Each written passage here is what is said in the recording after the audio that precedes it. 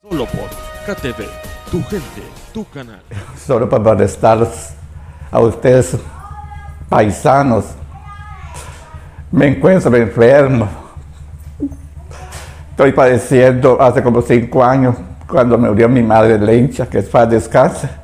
Estoy padeciendo de la próstata, que lo tengo bien inflamada.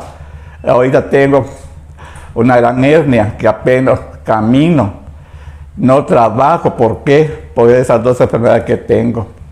Yo deseo, paisanos, residentes de los Estados Unidos, paisanos de mi pueblo, donde soy nacido, que me apoyen.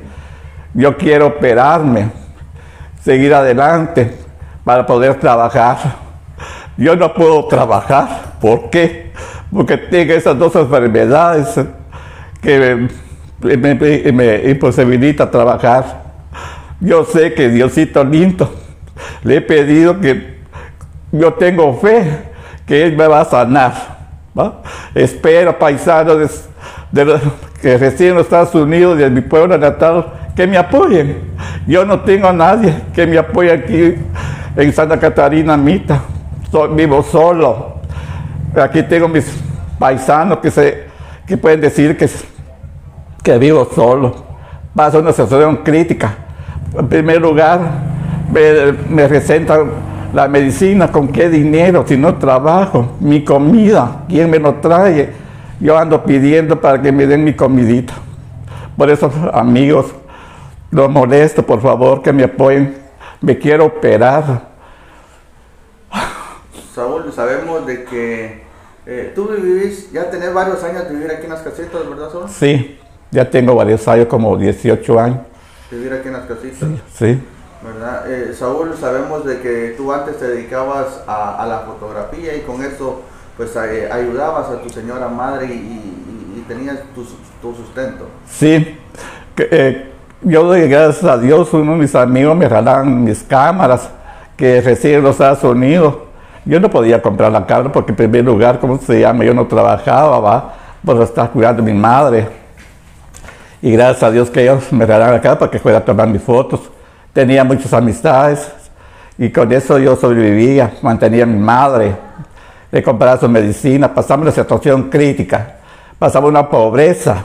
Mi mamá era pobrecita que nos crió a mí y mi hermano, esperando que después descanse, y murió pobre. Nosotros pasamos una crisis. En primer lugar, cuando mi madre estaba enferma, ella me pedía, sabor, yo quiero caldito de pollo. ¿Qué decía yo? Ponerme a llorar. ¿Por qué?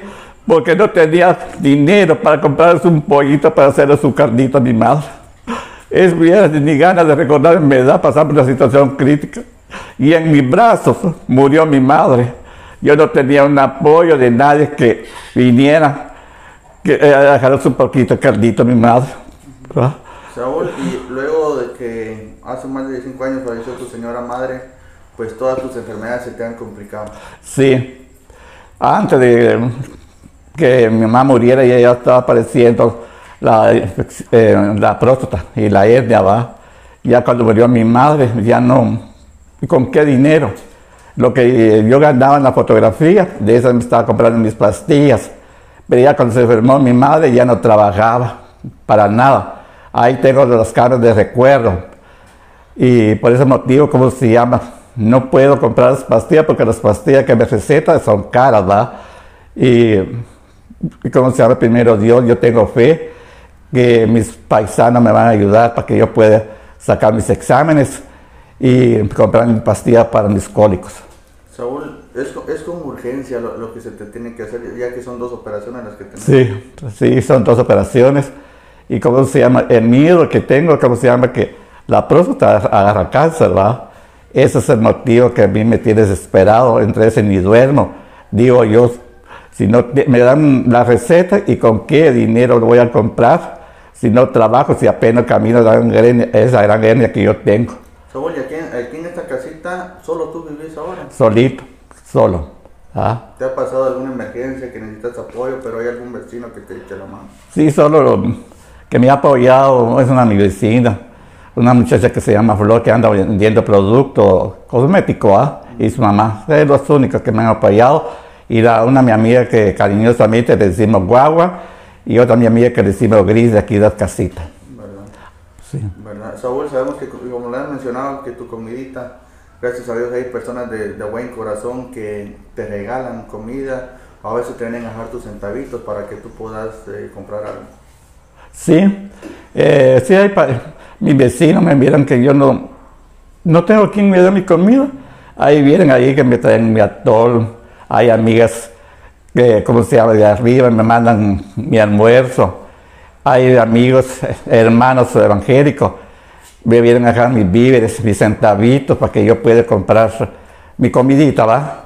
Y, comprar mi rizo, mi jabón, cualquier, cualquier cosita que yo necesite. Y yo le, le doy gracias a mis hermanos de la iglesia adventistas que me han apoyado, la iglesia Emmanuel también, especialmente el hermano Tono Ramos y su hijo Wagner y la iglesia Redentor.